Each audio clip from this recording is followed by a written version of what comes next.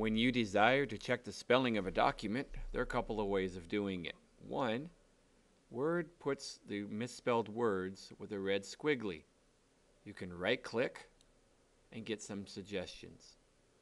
You may also go to Tools menu and check on Spelling and Grammar. And what this will do, this will take you through the entire document.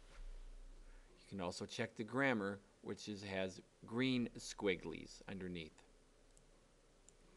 You can ignore it. You can add that word to a dictionary if it's a correctly spelled word but just not in this dictionary. You can click on it and make the change.